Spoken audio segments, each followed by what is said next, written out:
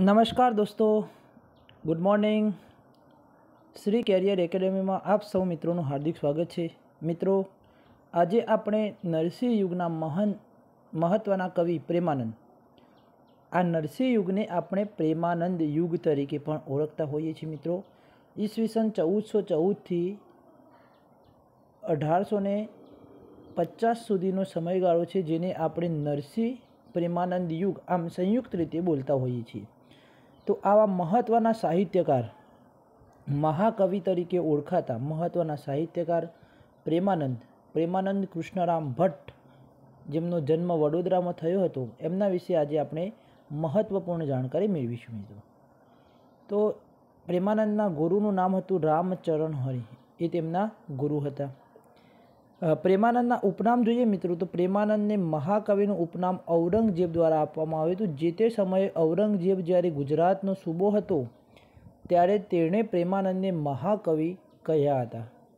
ત્યાર પછી લોકો દ્વારા પ્રેમાનંદને આખ્યાન શિરોમણી, એટલે કે શ્રેષ્ઠ આખ્યાનકારનું બિરુદ આપ્યું છે. પ્રેમાનંદે આખ્યાનને, એટલે કે આખ્યાન જે રીતે રજૂ થતું હોય એને કડવા સ્વરૂપે રજૂ કરવામાં આવે છે. કડવા સ્વરૂપે. ભાલણે સૌ પ્રથમ આખ્યાનને કડવા સ્વરૂપે રજૂ કરવાની શરૂઆત કરી હતી એટલે ભાલણને આપણે આખ્યાનના પિતા તરીકે ઓળખતા હોઈએ છીએ. પરંતુ મિત્રો પ્રેમાનંદે આ કડવાને ત્રણ ભાગમાં વર્ગીકૃત કરી અને આખ્યાનને રજૂ કર્યું. જેના કારણે આખ્યાનની રજૂઆત ખૂબ જ ઉત્કૃષ્ટ કક્ષાની થઈ અને એના પરિણામે લોકોએ તેમને આખ્યાન શિરોમણી અને શ્રેષ્ઠ આખ્યાનકાર એવું બિરુદ આપ્યું. ત્યાર પછી રાસ સિદ્ધ કવિ એ પણ પ્રેમાનંદને આપેલું ઉપનામ છે. કનૈયાલાલ માણેકલાલ મુનશીએ પ્રેમાનંદને ગુજરાતના જ્યોતિર્ધર અને રંગભૂમિનો નાનકડો વ્યાસ કહ્યા છે મિત્રો. રંગભૂમિનો નાનકડો વ્યાસ એટલા માટે કહ્યા છે કે રંગમંચ ઉપર તેઓ આખ્યાન શ્રેષ્ઠ રીતે રજૂ કરતા હતા. રંગભૂમિના પિતા તરીકે કોને ઓળખવામાં આવે છે મિત્રો? તો રંગભૂમિના પિતા તરીકે રણછોડલાલ ઉદયરામ દવે રણછોડલાલ ઉદયરામ દવે, જેમણે લલિતા દુઃખ દર્શક નામનું આપણને કરુણાંત નાટક આપેલું છે. પ્રેમાનંદે સૌ પ્રથમ ગુજરાતી શબ્દનો ઉલ્લેખ કરેલો છે અને આ ગુજરાતી શબ્દ દશમસ્કંદ નામના આખ્યાનમાં ઉલ્લેખિત છે. આ દશમસ્કંદ આખ્યાન એ તેમની અધૂરી કૃતિ હતી, જે તેમના શિષ્ય વલ્લભ ભટ્ટ દ્વારા પૂર્ણ કરવામાં આવી હતી, મિત્રો. તો સૌપ્રથમ ગુજરાતી શબ્દ આપનાર વ્યક્તિ હતા પ્રેમાનંદ. સૌપ્રથમ ગુર્જર ભાખા એવો શબ્દ કોણે આપ્યો તો ભાલણે? અને ગુજરાત ગુજરાત શબ્દ આપણને સૌપ્રથમ કયો જોવા મળે છે મિત્રો? તો એ તમારે મને કોમેન્ટ કરવાની છે કે ગુજરાત શબ્દ આપણને સૌપ્રથમ કયો જોવા મળે છે? આપણે એની પણ વાત કરેલી છે મિત્રો.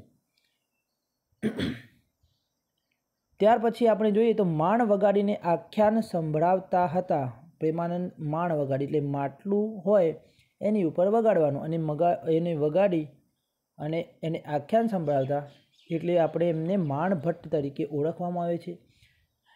પ્રેમાનંદ એ રંગભૂમિ ઉપર આખ્યાન કરતા એટલે એટલા માટે એમને તળગારા ભટ્ટ અને ઘાઘરિયા ભટ્ટ તરીકે પણ ઓળખવામાં આવે છે.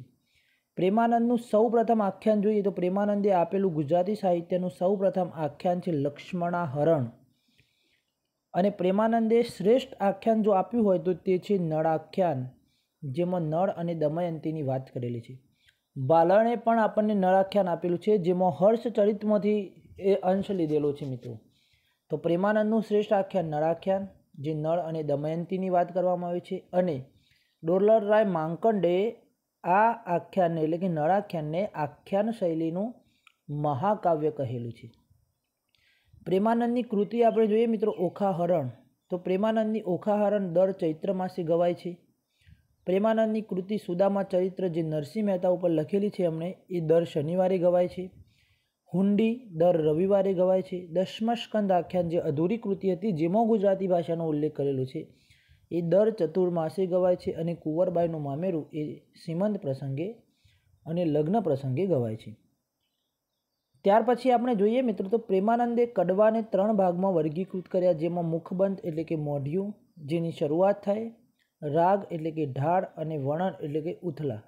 આ ત્રણ ભાગમાં પ્રેમાનંદે કડવાને વર્ગીકૃત કર્યા છે. ગુજરાતી ભાષા ને અન્ય ભાષા સમોવડી જો સુધી ન ગણવામાં આવે, એટલે કે ગુજરાતી ભાષાને ન્યાય ન મળે, ત્યાં સુધી પોતે પાઘડી પહેરીશ નહીં એવી ભીષ્મ પ્રતિજ્ઞા લીધી હતી મિત્રો પ્રેમાનંદે. પરંતુ છેલ્લે પોતાના પુત્ર વલ્લભના કહેવાથી થોડા સમય માટે એમણે પાઘડી પહેરી હતી.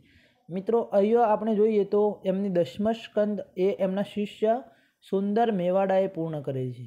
સુંદર મેવાડા, જ્યારે એમનો પુત્ર હતો વલ્લભ મેવાડા.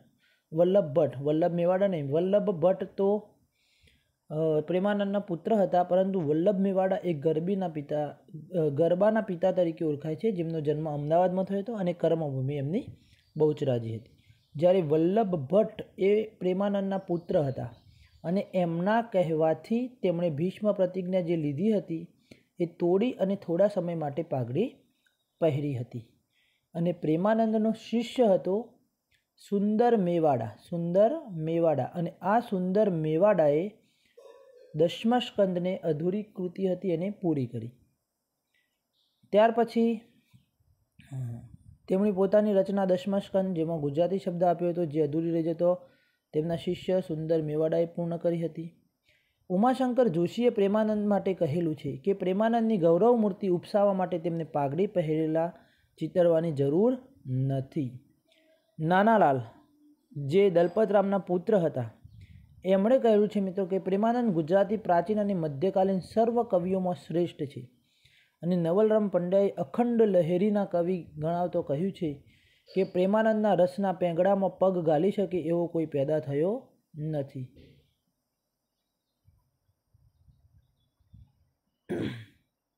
ત્યાર પછી આપણે જોઈએ મિત્રો, તો બળવંતરાય કલ્યાણરાય ઠાકોર, જે સોનેટના પિતા તરીકે ઓળખાય છે, ચૌદ પંક્તિનો સોનેટ હોય છે. બરાબર છે? તો સોનેટના પિતા તરીકે ઓળખાતા બ, ક, ઠાકોર જેમણે ભણકાર આપણને સોનેટ આપેલું છે. ઇટાલિયન સાહિત્ય પ્રકાર છે. એમના મત પ્રમાણે ગુજરાતનો હિન્દુ સમાજ અમુક સૈકાઓ દરમિયાન એક તળાવ હતું અને પ્રેમાનંદ એ તળાવનું પાકેલું સૌથી સુંદર માછલું હતા. ત્યાર પછી આગળ જોઈએ મિત્રો તો પ્રેમાનંદ વડોદરામાં જે જગ્યાએ રહેતા એ અત્યારે મહમ્મદવાડી તરીકે ઓળખાતી હતી, પરંતુ પ્રેમાનંદનું કવિતા ઘર અને કૂવો ત્યાં આવેલો છે એટલે એ પોળનું નામકરણ બદલી અને પ્રેમાનંદ કવિની પોળ આવું કરવામાં આવ્યું છે. પ્રેમાનંદનું સાહિત્ય સર્જન જોઈએ મિત્રો તો પ્રેમાનંદે આપણને મહાભારત આધારિત આખ્યાન આપ્યું નળાખ્યાન અભિમન્યુ આખ્યાન અને ચંદ્રહાસ આખ્યાન. રામાયણ આધારિત આખ્યાન આવ્યું રણયજ્ઞ અને ભાગવત આધારિત આખ્યાન આપ્યું ઓખાહરણ, રૂકમણીહરણ સુદામા ચરિત્ર દશમસ્કંદ અને માર્કંડેય પુરાણ આધારિત મદાલસા આખ્યાન આપ્યું. શેઠ મદાલસા. નરસિંહ મહેતાના જીવન ઉપર આધારિત તેમની કૃતિઓ લખી શામળશાનો વિવાહ, હુંડી, શ્રાદ્ધ અને કુંવરબાઈનું મામેરું. આ ઉપરાંત સુભદ્રા હરણ, દ્રૌપદી, સ્વયંવર, વામન કથા, વિવેક વણઝારો પણ પ્રેમાનંદે લખેલું છે. પ્રેમાનંદની અમર પંક્તિઓ જોઈએ મિત્રો તો ગોળ વિના, મોળો કંસાર, માતા વિના સોનો સંસાર. સુખ દુઃખ મનમાં ન આણીએ રે, ઋષિ કહે સાંભળ નરપતિ અને પછી સાંભળ્યુજી બોલ્યો, તને સાંભળે રે. આ પંક્તિઓ આપેલી છે પ્રેમાનંદે. ત્યાર પછી આપણે જોઈએ મિત્રો કેટલીક મહત્ત્વની જાણકારી પ્રેમાનંદ વિશે. તો ઈસવીસન ઓગણીસો ને સોળમાં વડોદરા સાહિત્ય સભાની સ્થાપના થઈ હતી. જ્યારે પ્રથમ વિશ્વયુદ્ધ ચાલુ હતું ત્યારની વાત છે મિત્રો. ઓગણીસો ચૌદથી ઓગણીસો ને અઢાર દરમિયાન પ્રથમ વિશ્વયુદ્ધ શરૂ થયું હતું એવા સમયમાં વડોદરા સાહિત્ય સભાની સ્થાપના થઈ હતી.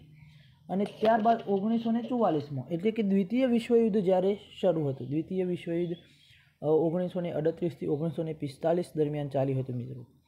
તો પ્રથમ વિશ્વયુદ્ધ સમય દરમિયાન વડોદરા સાહિત્ય સભાની શરૂઆત થઈ અને દ્વિતીય વિશ્વયુદ્ધ દરમિયાન આનું નામ બદલી અને પ્રેમાનંદ સાહિત્ય સભા એવું રાખવામાં આવ્યું અને આ સંસ્થા દ્વારા દર બે વર્ષે ગુજરાતી સાહિત્યના શ્રેષ્ઠ સાહિત્ય સર્જન માટે પ્રેમાનંદ સુવર્ણચંદ્રક એવોર્ડ આપવામાં આવે છે. અને આ એવોર્ડ પ્રથમ એવોર્ડ વિજેતા છે મિત્રો ઓગણીસો ને ત્રેસીની અંદર મરીઝ અબ્બાસ અબ્દુલ અલી વાસી એમને મરણોત્તર આપવામાં આવ્યો હતો અને બે હજાર પંદર સોળમાં ચંદ્રકાંત શેઠને આ એવોર્ડ આપવામાં આવ્યો હતો. તો મિત્રો, આ રીતે આપણે પ્રેમાનંદની કૃતિ, એમની પંક્તિઓ અને એમના વિશે જે માહિતી મેળવી એ તમે અહીં જોઈ શકો છો. તો મિત્રો, હવે આપણે ફરીથી મળીશું નવા વિડીયોમાં. આપ સૌનો ખૂબ ખૂબ આભાર.